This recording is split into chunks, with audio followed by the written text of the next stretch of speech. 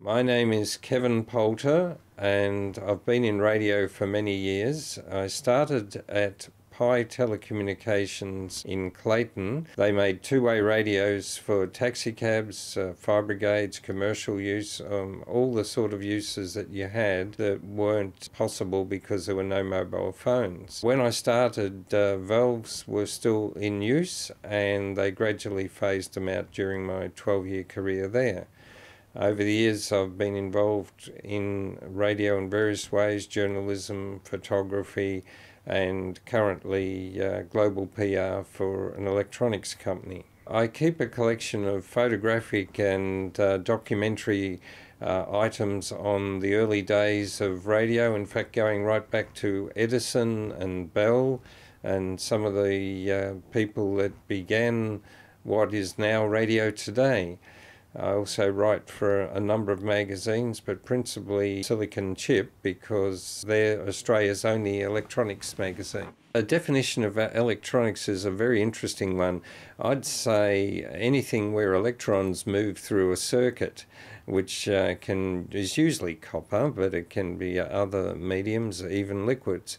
And uh, over the years, there's been some very smart people that have developed radio, and uh, I'm a member of the Historical Radio Society of Australia, who uh, collect and restore and maintain uh, vintage radio. Certainly, my interest, though, is is in the harnessing of it through radio and uh, microphones and the like. I believe the beginning of electronics was around Edison and Bell's time and some of the te- telegraphy uh, people.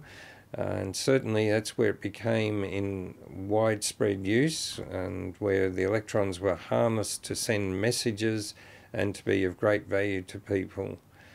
Uh, it was almost predating the actual um, electrical circuits or supply of mains power to houses and uh, people certainly benefited by getting messages within minutes instead of days or even weeks. Well, I started in electronics um, probably because my father gave me a transistor radio when I was about 14, and it was the best present I'd ever had, I think. Another Christmas, I was lucky to, enough to get one of the earliest uh, domestic, really good working uh, tape recorders. It was called a Ferguson so I had my transistor radio and the tape recorder, and I'm a firm believer that often that sometimes the things you experience as a kid uh, can influence your future career, and it certainly did mine.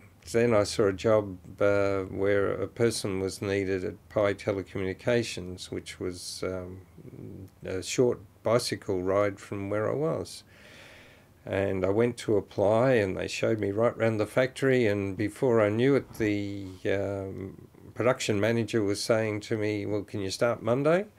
And that was uh, the situation with employment at the time. Though uh, anyone that was um, quite good at uh, their academic levels uh, could walk into a job now they're accused of people with diplomas and the like. They, uh, after a while, said, uh, Look, we have a vacancy for an apprentice, and went to RMIT in Melbourne, where they had a specialist radio school, and uh, spent a lot of time in there learning about uh, radio and television and transmission. Much of their training was on valves, but they were trying to do the modern thing and show us a bit about transistors as well. And became uh, experienced at electronics uh, with a qualification.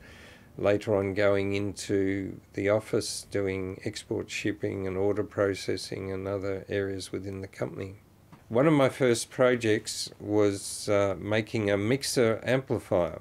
And because I worked at Pye Telecommunications, they had uh, chassis with already stamped out valve sockets more than what I needed for a mixer amplifier, but a beautiful thing to start the project.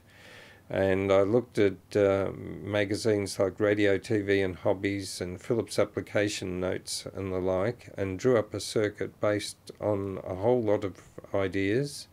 Plus, uh, some of the valve manuals told you the currents that should be in the unit, and that, and it worked really well. Pye Telecommunications was uh, close to Astor Clayton Works, where they made uh, Astor TVs, records, and other related uh, entertainment items. So many, many hundreds of local people were employed and were able to get jobs there. In the 60s, uh, radio was still a huge business, and AWA and Pye and Astor and other brands like Kriesler were enjoying a, a booming business still.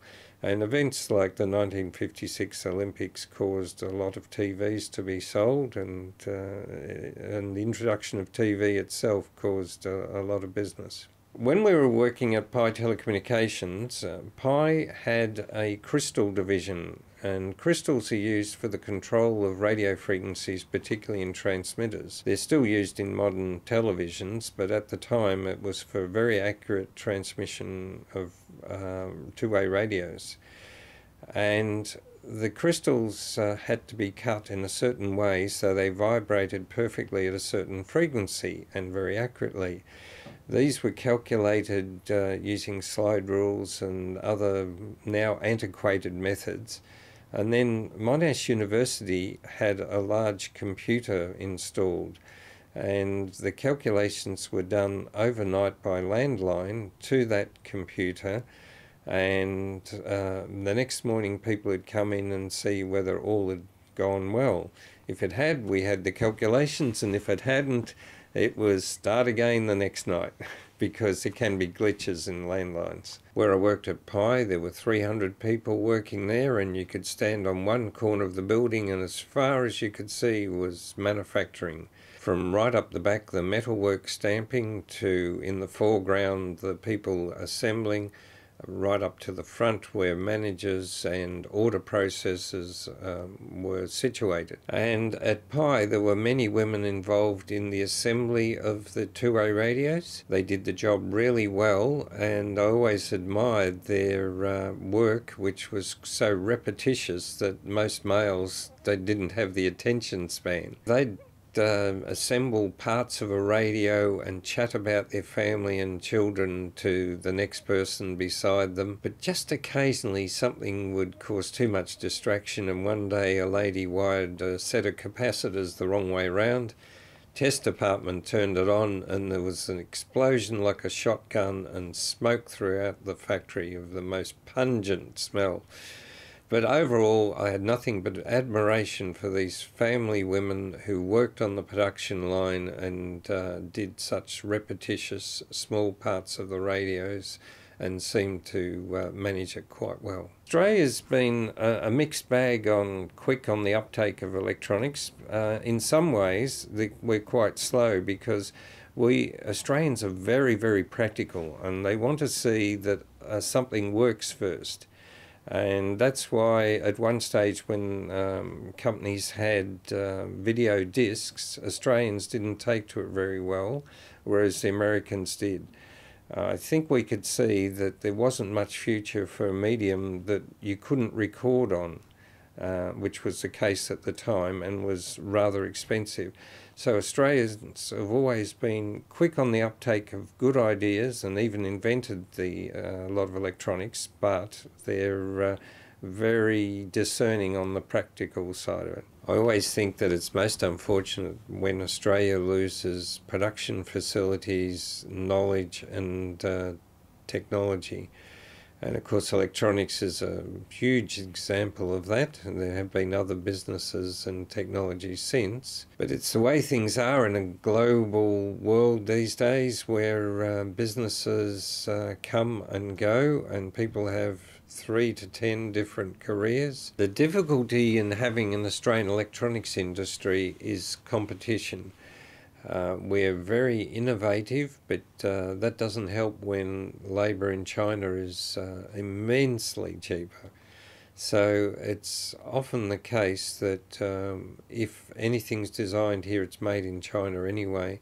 Though overall, there's been a huge decline, and everything is designed and made in China. Chinese dominance and manufacturing is just so huge that we can't compete like most Australians, they have more than one career through their life, and I've adapted my career to uh, still be electronics related, but not in the direct production and design and manufacturing.